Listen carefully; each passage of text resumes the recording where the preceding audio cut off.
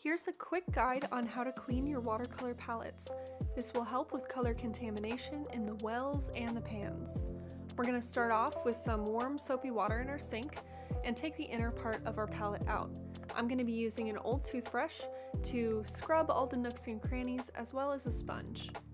Next we're moving over to the desk where I'm going to be using an old brush that's just a little bit smaller than the size of a half pan and just using water I'm going to gently feather over the surface while blotting the color off frequently on the paper towels underneath.